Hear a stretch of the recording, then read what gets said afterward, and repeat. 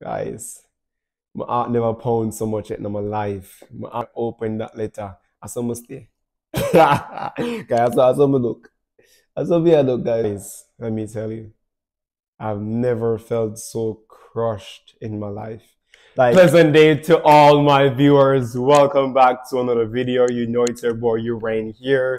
And in this video, guys, I have some great news. Uh, I mean, most of you guys would have already figured out from the title, but yes, you know, finally I got to communicate with mommy. It was a great conversation, right? And uh, throughout this video, I'm to also leave like, you know, little small screen record, you know, of the conversation. You, you won't be able to hear the, the voices, but you'll be able to see, you know, what was happening in the video call right? Also, guys, I'm here to encourage the youths today as well, the youths of our society, you know, that irrespective of life challenges, you can still reach your goals. So we're going to speak on that a bit as well. You know, so yeah, I think this video is going to be a successful one. You know, do share it. Remember to like, subscribe, and keep on following the journey.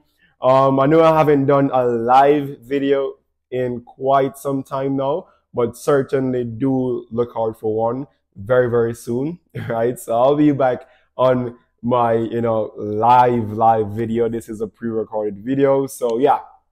And you know, guys, you know, so yeah, this morning I was able to speak with mommy thanks to Miss Sue, right? Miss Sue got my brother a phone. So that was amazing. You know, I think, uh, I emphasized on this on my birthday, I believe, when I was carrying out the gifts and all that, you know, because my brother phone had crashed, you know, and there was no point of communication with mommy. And uh, um, Miss Sue reached out and decided that, hey, you know, she will assist in getting a phone for my brother. So he got the phone, spoke with mommy today. It was an amazing conversation. Like, like the, the, the call reminded me how much, you know, I miss my mom. You understand? Because when I called her, it was just pure smiling, you know, as you can see in the screen record. It was just pure smiling, you know, the way all she was replying to my questions and all that. For example, I was like, Mommy, you know, you know, miss a big son of, you know, say a big son of the, the boat again, right? You know, miss me. And, you know, fear one answer. She, she's not a woman of many words. So her one answer, yeah. I was like, you know, easy, you know. And she always says she have work for God, you know. The usual mommy, right? I got to know that she's in good shape as well, you know, no, you know, um, health conditions at this time. And yeah, she's doing pretty well. So, you know, as long as, you know, she's doing well, then that's good, right? You know, as you can see, the other, the person in the video as well, the young gentleman, that's my brother, right? 16 so um, he's also doing great. So, you know, thank God for health and strength. And, you know, let's just hope that it remains the same for, for a very, very, very long time. So, yeah, it was a, um, you know, um, an amazing conversation, right? Um, hopefully I get to see mommy again soon, right? And hopefully the next time I'll be in a much, you know, better, what I can say, you know, like, you know, a much better state to, you know, help her to the best as possible. You know, as I, as I said earlier before I even came here, you know, to experience a better quality of life before health worsens. Because I mean, this is life. You know, this is life, and one day health, you know, health will definitely deteriorate. It's it's life, you know. So um, hopefully, you know, I do what I have set out to do before, you know, life takes a course. So yeah, you know, um, just that's the update as it pertains to mommy was able to speak with her and you know it was an amazing conversation. Now moving on moving on to a next topic as it relates to you know encouraging the youths of our society encouraging the youths you know of our country of our beautiful island jamaica and just in general the youths around the world right? I'm here to share my testimony. And if you're here watching let me tell you, if I can do it, you can do it. Every, anybody else, and everybody else can do it. Like as long as you put your mind to it, you have the resilience and determination, then trust me, nothing is impossible. And I'm a living testimony of that. So yeah, as you guys know, right? Um, when I was in high school, not when I well, actually when I graduated high school, I wasn't sure what I wanted to do, right? But at the same time, I wasn't sure, you know, if I wanted to do university in Jamaica, right? Like somehow I never see myself like, you know, wanting to further my education in Jamaica. And I know that would have been like a bold step, you know, to go elsewhere to take on, you know, a new country and, adjust to a new country. I know it would have been expensive as well, right? It's not expensive, you know, it's hex with an H, expensive. I'm telling you, man, I, I know, right? And um, I know, you know, that it would have came with numerous challenges, but irrespective of that, I never let it, you know, blind my vision, right? I never let it, you know, push back my determination. I was, you know, just calm and, you know, just basically going towards the goal day by day by day. Right now, as I said, just out of high school, not sure what I want to do with my life, not sure where my life is gonna go, and the only thing I could do, you know, is just, is just honestly, guys, when I came out of high school, I was clueless, right? I mean, I was thinking of doing logistics, right? I was thinking of doing logistics because, you know, um, it was an, a field that was in demand in the Caribbean region. Well, logistics is in demand everywhere, actually.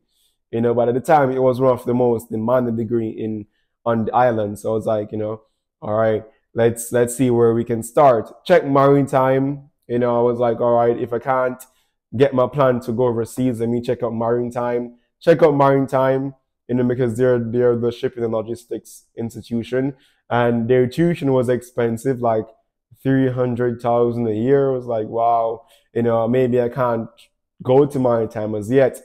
So what happened is that there was this advertisement that, you know, for 2021 graduates, which I graduated in 21, 2021, we were gonna be get, we were, we were able to get the opportunity to go to UCC to do a occupational associate degree in logistics and supply chain management for free. It was basically, you know, a scholarship through the government, right? So that was going on. You know, at the time, um, as I said, I was only doing this because I heard it was up in demand and like I never had any deep interest in the shipping and logistics.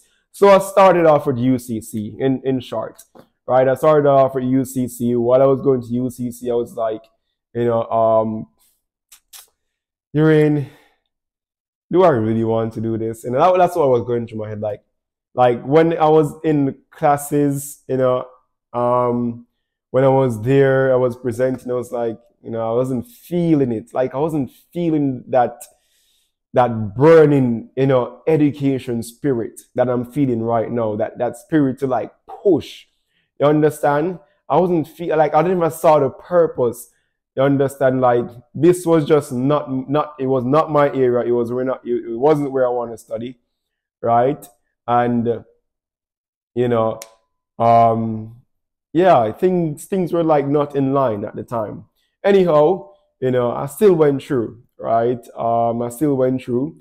I did two semesters, got straight A's, as you can see, right? Never got a B, right? So irrespective of the fact that it's something I never wanted to do, I still put in the effort needed, you know, to, you know, gotta get a few A's, right? So I wasn't, I wasn't sure why I was doing this, you know, I wasn't sure how I even got into this. You know, shipping and logistics, a very new term, you know, and I was like, you know, let me just go with life. You know, let me just go with life until, until guys, one day after the second semester, I was like, I'm in an environment around persons who, you know, we think alike. You know, we are all from Jamaica.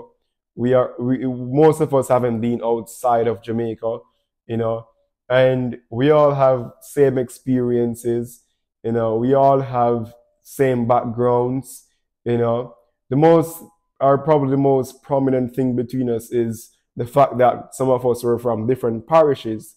And i was like to myself i wanted to be a case where you know like i'm in a place where you know it's more diverse you know like persons from different backgrounds you know like that was what i wanted you know, I mean, there was institutions like uh, UWI, UTech that had persons from different Caribbean islands mostly, right? But yeah, that was still within the Caribbean region, you know, and I wanted something that would have been more international, you know, something that would have gained, given me the exposure. And not only that, but you know, this is this is me reasoning with myself at the time, you know, of my second semester at UCC, like, you know, actually reasoning with myself. This was me. These were the points I was saying to myself, you know. So yeah, um, you know, I wanted that, you know, and uh, I needed a change, right? So same time, without even um, thinking about you know, the consequences and all that, I contacted my program coordinator, tell her that, hey, you know, I don't think I'll be continuing in this program, right? Um, I think I'm going to move on into something else, right? Um, she was very sad because let me tell you, I was the type of student, and irrespective of where I go, I'm the type of student that I bring vibe to the class. I'm the type of student that, uh, my, like me being like the presence in the class, make my presence in the class, I would say, make the class more, you know, wanting to participate in a sense like that.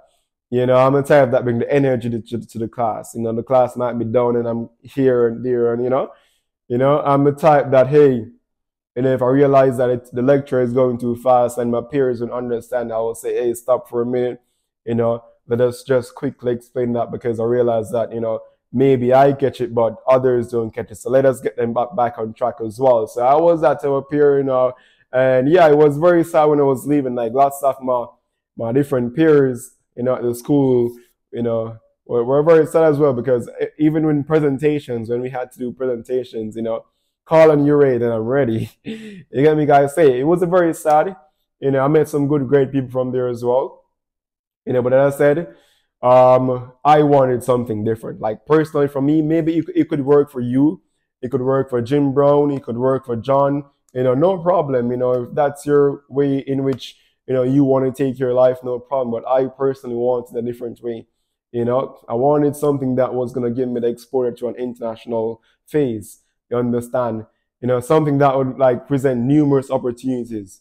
You know, so um, yeah, I decided to take a leap of faith, right? Not knowing what's gonna happen, but I started working. Right, I started working at this overseas call center. It was a remote job, right? They they paid us 500 US base pay a month, right? That's like 50 something thousand Jamaican dollars, right? That's, that was the pay. And sometime, you know, it's call center. So you get like bonuses, etc. from time to time for making sales, you know, and all that. So, you know, those would add up at times. And yeah, you know, I started working and I'm saying to say, I'm saying to myself, yo, one day you're in, we're gonna have enough money to pursue my dreams, you know, and uh, I'm gonna be able to live the dream that you know I've envisioned. You know, so um, you know, I started saving, and uh, you know, hoping that I'll be able to reach my goal one day. You know, and I, re- I applied to my school, Northwest, of course, and uh, I got an acceptance letter that even made my drive much more, guys. I was so happy when I saw the acceptance letter. Hold on, guys. Let me get some water because I really need some water, guys. Hold on. One second, guys. Ah, okay. Okay, guys, I got some water. Got some water.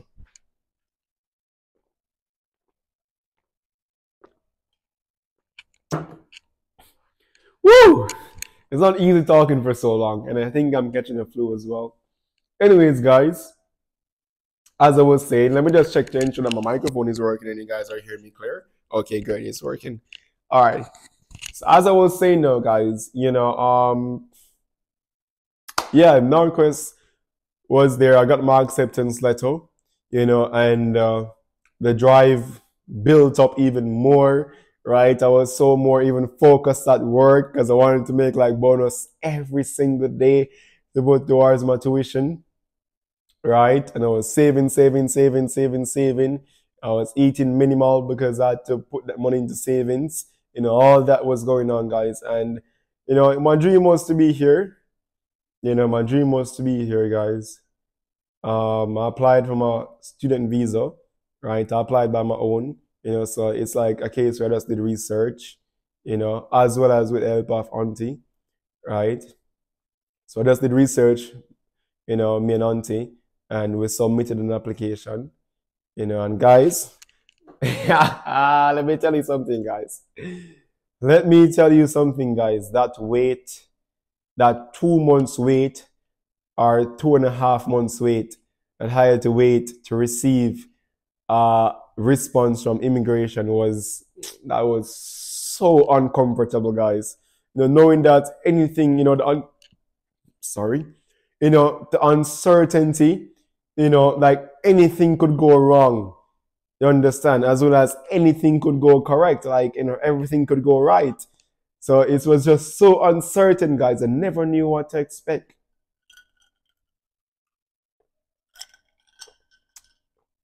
Right? I never knew what to expect, guys. There was so much uncertainty surrounding all the situation. And let me tell you something, guys. I worked, worked, worked, right? I made sales and all that for the company. And up until January, guys, that was a rough time. I think I still remember the day. It's either it was a January 17 or it was a January 18. Yeah, it's either between January 17 or January 18 when I see they sent an email to my to my email address and uh, it says that they have left a message in my account. And that's that's how they do it. They send an email to your email address saying that hey, you know, they leave a message in your account and go ahead and check it. And you know, I, I know when I got that message that it was my decision letter. Guys, my heart never pound so much in my life. My heart, my heart never yet pound that much in my life yet, guys. It never yet pound that much. And me, I tell you guys, when when I go to open that immigration's letter, that decision letter, Oh God, man, guys. When I open that letter, I saw me stay. guys, I saw, I saw me look. I saw me look, guys. And me I scroll down, scroll down. You understand? And guys, let me tell you, I've never felt so crushed in my life. Like I've never see my dreams just crumbled in one letter like that. You know, because the first thing that I believe they said in the letter was, thank you for applying an interest in studying in Canada. However, after reviewing your application, realized that, you know, we will reject your application based on these terms. I was like, Jesus, Jesus, Jesus, what they going to do? You know, I was like, oh my God, everything crumbled down. You know? It was sad, guys. It was really sad. Even thinking about it, it was so sad. Even thinking back on it, it was really, really sad, guys. But, mm, but guys, as I said, you know, and I want others to take this as well. I will need others to take this as well. You know, like put this somewhere in the back of your head. You know, nothing in life comes easy.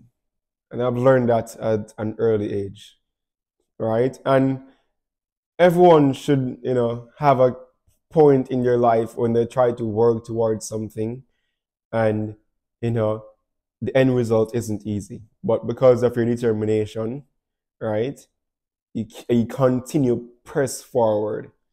You understand? So when I saw my rejection letter, and guys, hear me out good. You know, um, I was down, I was crushed, I was humble, I was depressed. You know, I sent out numerous emails to numerous corporations, large businesses. Contacted PNP, PNP, People's National Party, JLP, both, you know. And uh, yeah, I sent out emails, Smile Jamaica, TVJ. You know, I'm going to show some of these on the screen for you guys to see as well, you know. And uh, I'm telling you guys, your resilience, guys, your resilience, guys, to have, you know, to, to push through the difficulty, guys. Yeah, I tell you guys, it wasn't easy. And this was like the day after seeing my letter. I, went, I even went back to work. I even went back to work and my mood was off, but I still had to work. Like I still had to work and doing work, you know, whenever them pause me, because you know sometimes they call they pause me because maybe technical issues, etc. I still start sent out emails, sent out emails, sent out emails, you know, everywhere, everywhere, everywhere, guys. The gleaner everywhere, guys. There has to be a solution. Like there are numerous international students here study, right? And I'm sure everyone of them are rich and they found a solution. So I was like, hey, there has to be a solution. You know? There has to be a solution. You know, I was rejected based on grounds of financial reasons as well as um coming back to my home country reasons. You know, I never had a st- study study um what what they call it again a SOP. What is it called again? A study letter. It's like telling you why you want to come study here, you know, and uh, how you're gonna pay for this, how you're gonna do that, etc. Something like that. Yeah, I never had that in my application to like detailed explain what was going on. But neither do I had enough finance to show that I would be able to cover my studies. You know, so I know that was a big issue that I needed to resolve, right, before I reapplied. And guys, remember my program starts in May, right? If I don't attend in May, then I'm gonna lose half of everything that I've already spent. You know, I won't get back my application fee. You know, so basically I'll be basically losing money same way if I wasn't able to make it for the May intake. And I was like, Jesus, it was now January, guys. Count the months with me. It was January, right? Basically, January done because it was the, the 18th. So January done. So basically, I, I only had February, March, April. And school start the first week of May. So I only had what? February, March, April.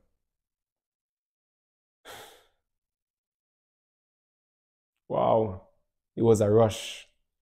It was a rush. It was a rush. I needed a response urgently. Otherwise, I would lose so much. I could have pushed back my application to the next term, but same thing, I would have to reapply again. Money making thing. Anyways.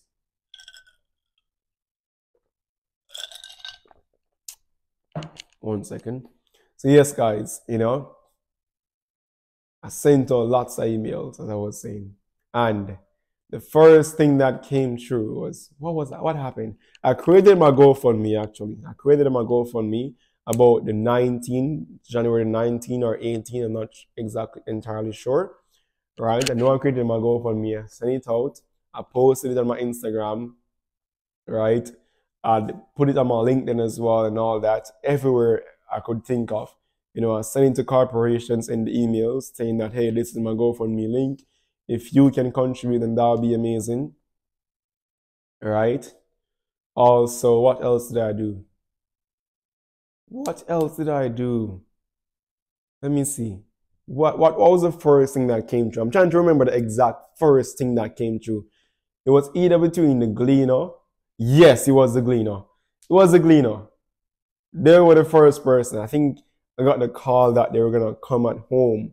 Right? They were coming to my home right? And when I, I was so, I don't, I never, it was like a bittersweet moment. It's like I was like, Jesus, God, it, it caught me as surprise, you know, it caught me as surprise, you know, guys, it caught me as unsurprised. I wasn't, I wasn't expecting them to actually, you know, give, even give me a response. A big, big up to you, know, you know, Gleaner or a star, I think they work hand in hand. But yeah, um, I was getting ready fast because they're gonna come. So, you know, I was washing my face, you know, brushing my teeth, you know, and all that and all this and all that. Call up grandma, you know, as a grandma, green dog come, green come, interview me. that, that day, man, that day, man, I'm telling you guys, that day. You know, so yeah, I did that. You understand? And uh, they came, they asked questions, they took pictures and all I could did was hope that my story would, you know, go out there, guys. You know, it's just a, a, a little beam of hope. You know, that's that's one thing we need to have, guys. A little beam of hope. And I mean, if it doesn't come through, you maybe, you know, go at it again. Go at it again until you get it. You know, go at it again. Maybe it just wasn't the time. You know, maybe I, I shouldn't get my application approved in January, right? Maybe that wasn't the time from, from, from me to, you know, get my application approved. Maybe it was for another time. And next time, of course, you know, so it's just God's timing, guys, and, and just have a little beam of hope. Just put a little bit of faith, you know? So, um, yeah, my story was posted on, on the Gleaners page, front page, mag, the newspaper, uh, the Instagram page, everywhere, their, their Twitter, everywhere. My story was posted. Lots of person reached out to me from the Gleaner. I got a few donations, but still wasn't enough. You know, guys, I was like, Jesus, will I be able to meet my quota for the time range? Because remember, we're working the time February, March, April and I still would need to get about documents, right? And I still would need to transfer all the money from my GoFundMe over to my school to show that hey, I'm committed to studying at my school. You understand? So guys, time was a factor. Time was a big factor. You know, time, time, time was a big factor. One moment.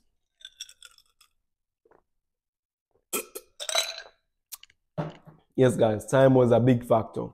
Anyhow, next thing that happened was Smile Jamaica reached out, you know, and they asked me if I can come and do an interview. And I was like, yes, certainly, most definitely. You know, when the Smile Jamaica did the interview with Neville, that was amazing. A little bit more persons reached out, got some more assistance, and, you know, I was on my way. Still wasn't there, but I was grateful for all the assistance I got, and I was like, okay, you know, we're making some step forward. And that was one thing that I love about myself. Like, I, I appreciate the, the baby steps that, that, that we're making. You know, I, like I recognize that, hey, you know, I was once at this point, now I'm at this point, and things are going up. So I have to give thanks, you know, and be grateful for, you know, what I've received thus far. Anyhow, that happened. And, uh, things were, you know, going in, time was going. Still never met the quota until one day, one day, to reach out, onto DMG, onto Donna. You know, I never know where Auntie Donna live. I just, I just hear about 99. That's only thing I, I know I, I knew about at the time. You know. Anyhow, found my way at 99. And guys, let me tell you, and I wasn't expecting to to to um get so much at so little time. You know, it's it's like time. It's like the time factor just push. It's like it's like the time factor was a big was a big thing, and then it just went down like this. You know. Anyhow, uh, that day was magical. That's all I have to say. Like, if I can't even go, that day was that that that day is something for a next video. That day was that day was just magic. You know, that day was that day was a blessing a real blessing, guys. Anyhow, things, you know, worked out, right? Got the amount needed, right? Paid over tuition, sort out documents, and then we went back into waiting. Guys, we went back into waiting. Submit application and go, went back into waiting. Let me tell you. I was so, it's like this time I was more relaxed, but at the same time, I don't know. It's like it's like I, I knew I got through. It's like I knew honestly, guys, it's like I knew I got through, hence why I was relaxed. I went to the beach. I went to have dinner. What else did I do? I went out with friends because I know it's gonna be the last few months of me being with them. It's like and my and my and that bear in mind this time my decision never came. My letter never came true, right? But I know, like, I felt it with myself that, hey, this is going to be the last time being here with my friends. I never got a letter from immigration, but I just knew. And yeah, right. Um, when was it? I don't remember the exact date, you know, but when the letter came true, man, you know, it wasn't even me that got it, it was my consultant, you know, and uh, just she, she was trying to call me, you know, and I was like, I missed the call. I missed the call. And I tried calling her back, never got, never reached out to her. Then I checked my emails. Oh my God! It was it was a day of celebration. It was a day to remember. You know, she was like, "You're in, you're in, you're in. Your application is approved." I was like, "What?" I was like, because the grandma was in her room laying down. I'm say, "Grandma, me and go yeah, Is me I said, "Run go, hug up, grandma." Yeah, I was like, "Trying no." Same time we call Auntie D. Auntie D on the road. Auntie D start screaming. oh my God, that was that was a day to remember, guys. That was a day. That was a day to remember, guys. So yeah, you know, and that's what I want to say to the youths. You know, in a summary, after my high school days, never knew what I was gonna do. I knew I wanted to study outside of Jamaica. Many persons were saying that, hey, we are many people got you with why can't you do the same? You know, I mean, everyone has their life, everyone has their decisions to make. You know, everyone has their own vision, their own path. But honestly, my one was something different. You know, and not even different to say different from everyone else in the world because there are lots of persons, lots of international students that took this path. I mean, they also had the opportunities to study in their home home country, which would have been a much easier option, but they took a different path. You know, and yeah, you know, that's the path that I wanted to take and I'm here living the dream in the moment. Like it feels good to be in the moment. I mean, I miss home. I really want to come back.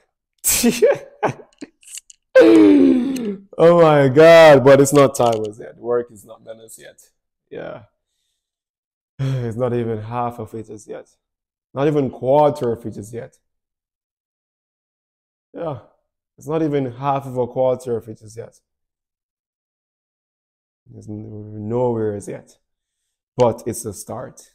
It is a start and a good start as well.